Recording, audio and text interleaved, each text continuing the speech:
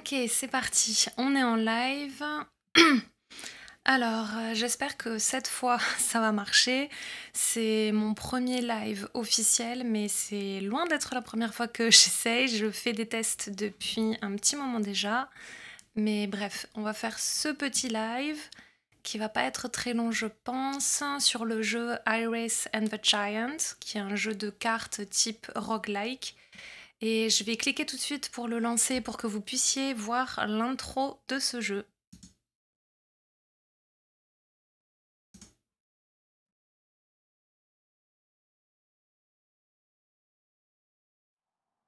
Today, my father is driving me to my swimming lesson. He's speaking to me, but I'm not answering. A ball of anguish is lodged in my throat and stops me from speaking. It feels like somebody is crying inside my chest.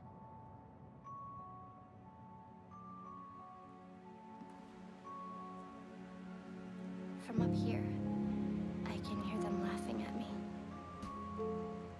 A storm awakens itself in me.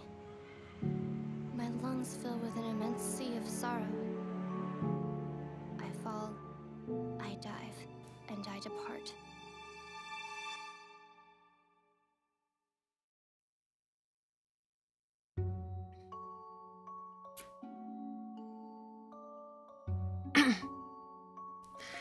Donc voilà, là vous avez vu l'introduction euh, à ce jeu.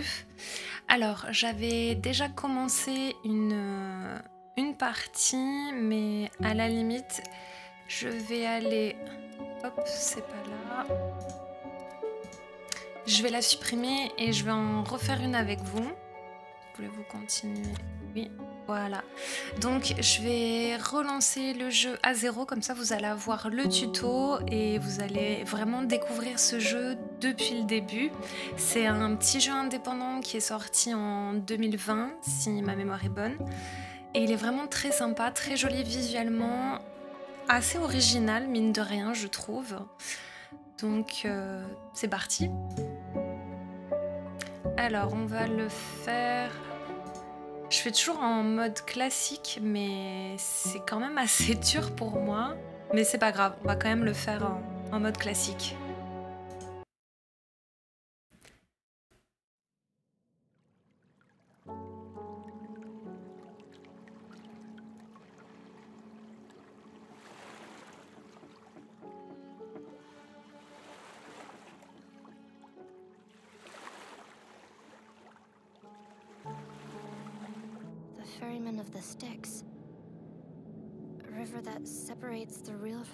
Imaginary.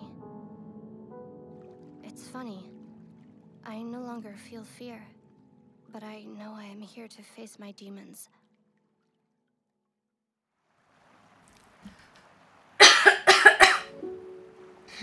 Excusez-moi, il fallait vraiment que, vraiment que je tousse là. Alors, c'est parti pour les explications, comme ça vous allez tout découvrir. À chaque tour, tu pioches 4 cartes et tu dois en jouer une. Joue cette carte H pour frapper tous les démons devant toi. Donc, on prend la carte et c'est parti. Les cartes épées peuvent être jouées dans un même tour. Joue tes 3 cartes épées. Donc j'en ai 8 en tout.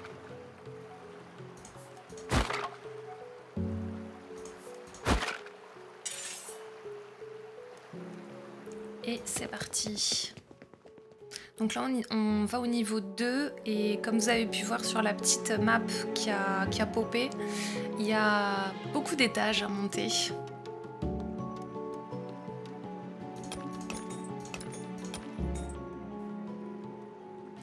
Ouvrir le coffre. Alors, euh, les boucliers c'est toujours pratique. Les épées aussi. J'hésite beaucoup à chaque fois entre toutes ces cartes. Celle-là, je l'ai jamais utilisée. C'est peut-être une erreur d'ailleurs,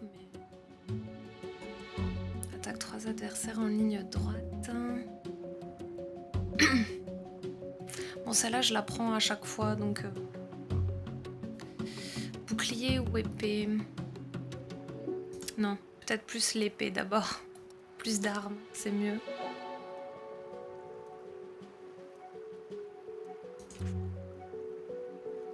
Ces cartes sont mes armes. Donc là, pour le moment, apparemment, j'en ai 25. J'en ai... J'ai 3 attaques de type feu.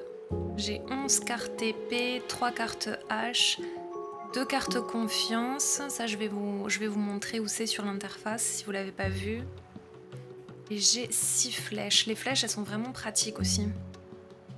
N'hésitez pas à me dire dans le, dans le chat ou en commentaire si vous voyez un replay, si vous avez déjà joué à ce jeu et ce que vous en avez pensé. Moi, je l'aime beaucoup.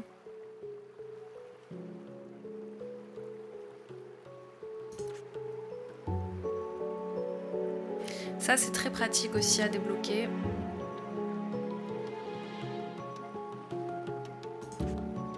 Voilà, donc ça, ce sont mes points de vie, mes deuxièmes points de vie en fait. Donc euh, là, pour le moment, j'en ai 30 et on appelle ça la volonté. Hop. Donc si le soleil il tombe à zéro ou si j'ai plus de cartes à jouer, dans les deux cas, je perds en fait. Alors... Le but, c'est d'atteindre le plus vite possible l'escalier ou de récupérer des souvenirs, des cristaux et des coffres, évidemment. Eux, ils peuvent attaquer de n'importe où quand ils sont situés un peu plus loin sur les lignes. Lui, il a une armure, donc il n'est pas facile à tuer. Et lui, il est plus résistant aussi, il me semble. Et il attaque beaucoup plus fort, surtout. Donc là, je vais juste le tuer lui. Ouais. On va faire ça. hein. Et l'escalier. C'est parti, troisième étage.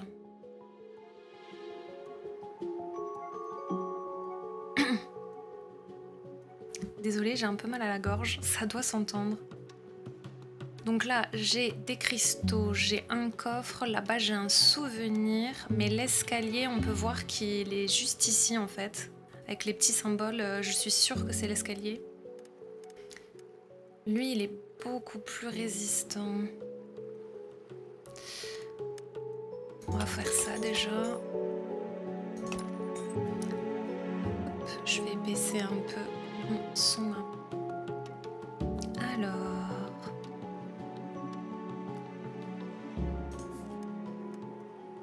Ah, c'est en... Ah oui, c'est vrai. Hmm. Ça.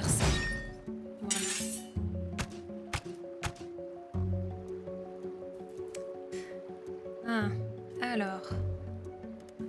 L'escalier, il est là, mais il y a un coffre et un souvenir. Alors là, je vais peut-être essayer de les récupérer.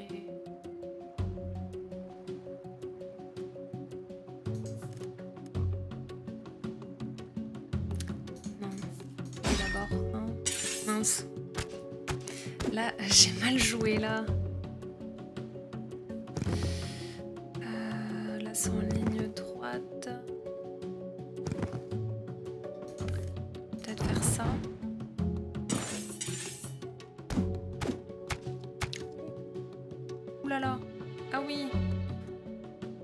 Euh, là, ça va pas être. euh,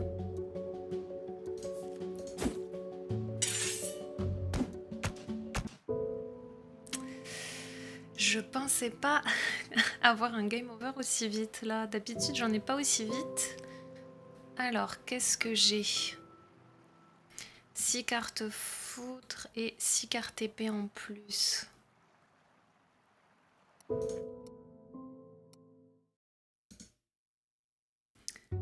Alors, j'ai ça, c'est bon.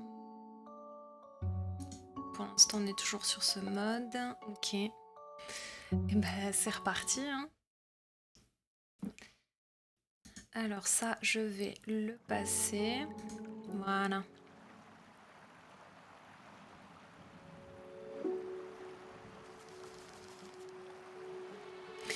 Alors lui, c'est ok. arrêter le tuto Oui, puisqu'on vient juste de le faire. Donc là, vous voyez que j'ai 32 cartes parce que j'ai récupéré donc des cartes euh, bonus à ma première run. Donc 6 cartes foudre, foudre à tous les adversaires de la même espèce. Ça peut être vraiment très pratique ça. Faut que je les utilise à bon escient. Et j'ai beaucoup plus de cartes épées. Ça c'est bien aussi.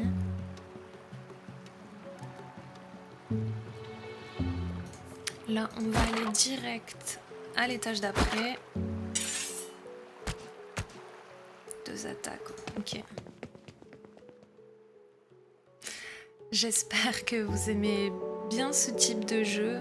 Euh, je suis pas sûre que beaucoup de gens le connaissent. Moi, je l'ai connu sur, euh, sur GOG, GOG Galaxy. Ouh, il y a des voleurs là. Alors, on va... Je sais pas si vous avez pu lire, donc les, voleurs, ils peuvent me voler mes cartes. hein. C'est très dangereux. Donc on va faire ça. Voilà. Ah, mais c'est mieux là. Alors, j'ai toujours pas de bouclier, mais le bouclier c'est bien. Ah, j'ai plus d'attaque feu.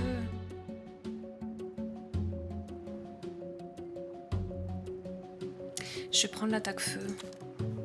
Attaque feu et bouclier. Alors, est-ce que je l'attaque?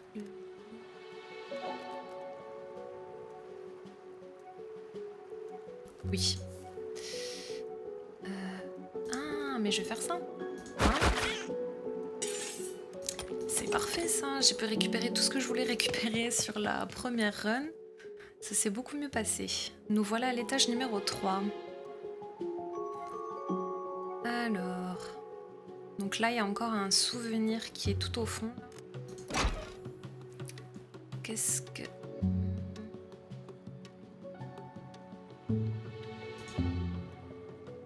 On va peut-être faire ça. Pas si c'est une erreur ou pas, mais on va commencer comme ça. Alors, j'aimerais bien récupérer le souvenir. Euh.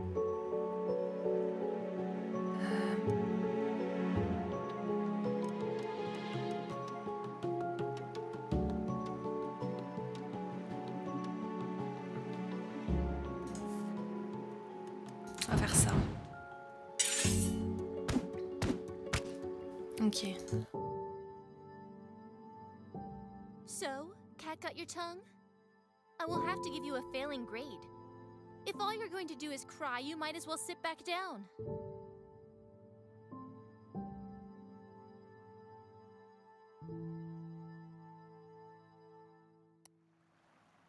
Voilà, donc ce que vous venez de voir, c'était un, un souvenir. Et ça permet de reconstituer l'histoire d'Iris, qui a l'air d'avoir subi pas mal d'intimidation euh, et de harcèlement, la pauvre. Hmm. On va peut-être essayer là.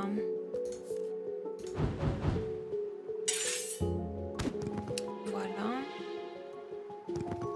Ah, j'ai eu raison, l'escalier il est là. Alors, attaquer trois fois, lui c'est.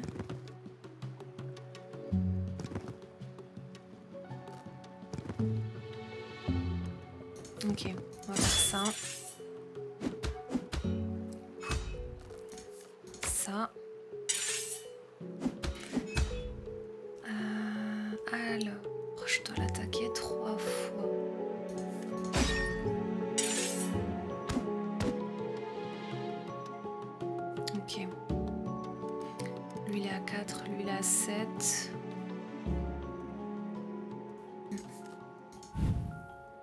Là, il vaut mieux faire ça.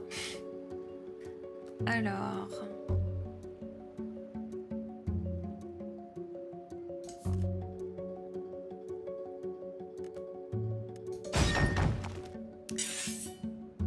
Hmm, Je sais pas si.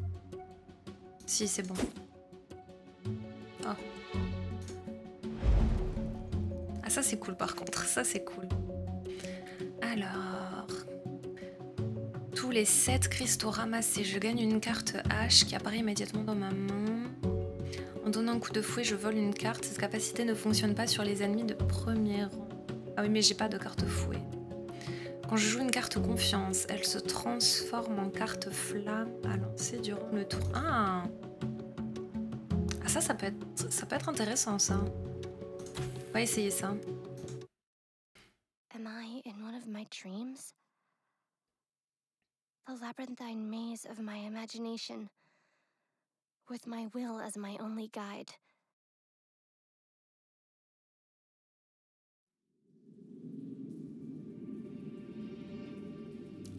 On avance, on avance. Alors.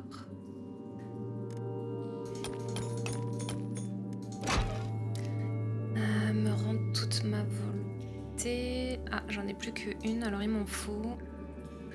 Des flèches, du feu ou des épées. Le feu, c'est quand même pratique. On va faire ça et là. Attaque tous les adversaires du premier. Le bouclier.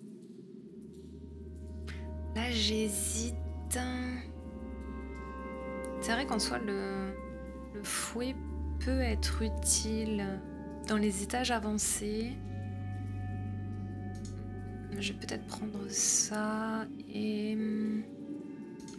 La hache. La hache, c'est toujours très utile. Ok, alors l'escalier, on peut voir qu'il est là. Donc... Premier rang, non. Ligne droite, oui. Ah Yes Une carte bouclier me protégera pendant 3 tours au lieu de 2. Et je gagne immédiatement un bouclier pour 2 tours. Optimisme. Ça, je l'aime pas trop. Et imagination, honnêtement, moi, je trouve que c'est plutôt un, un debuff. Parce que le but, c'est quand même de garder le maximum de cartes euh, de côté. Donc si on en tire une de plus à chaque tour, va les consommer beaucoup plus vite. Je vais prendre rési- résistance, moi. Ok. Je vais juste le tuer, lui. Et passer, voilà. Donc là, on va à l'étage 5. N'hésitez pas à commenter ce que vous pensez du jeu jusqu'à maintenant. Est-ce que vous l'imaginiez comme ça quand je vous ai dit au début que c'était un jeu de cartes type roguelike? Alors...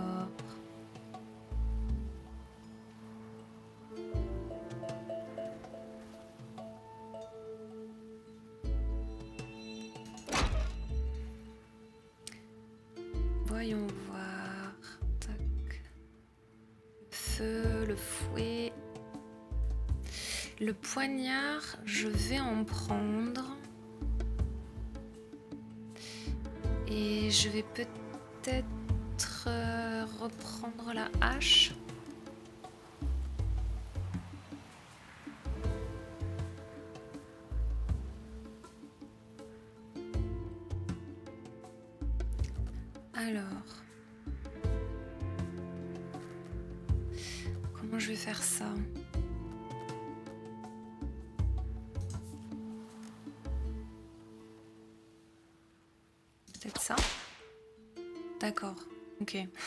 Donc ça se joue bien comme ça. Euh... Ah, n'hésitez pas à me dire aussi au niveau du volume, que ce soit le volume du micro ou le volume du jeu, s'il y en a un qui est trop fort ou au contraire pas assez fort, etc. N'hésitez pas parce que c'est assez compliqué pour moi de le paramétrer juste en faisant mes tests de mon côté.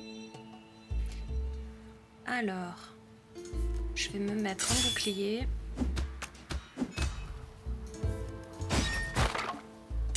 Oh mince, il avait une armure, hein, j'avais oublié.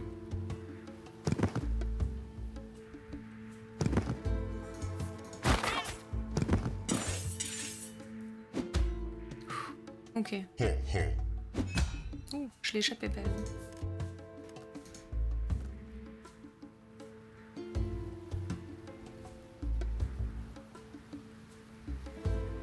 Mince, je suis obligée de le tuer lui au cas où.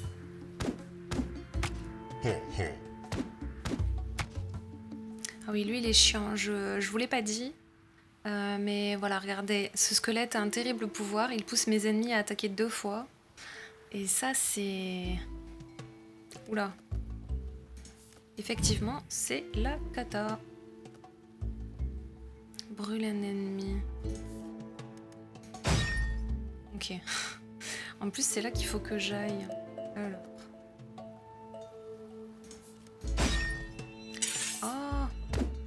C'est vrai.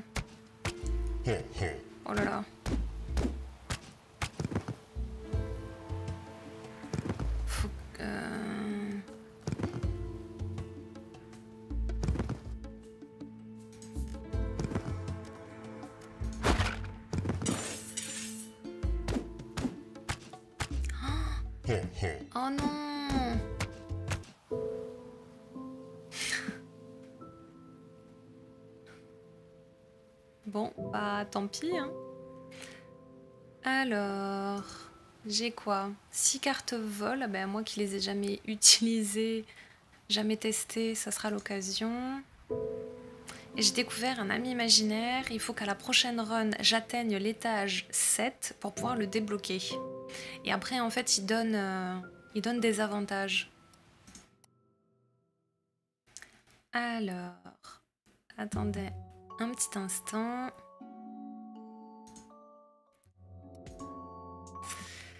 Voilà, euh, donc je vais m'arrêter là.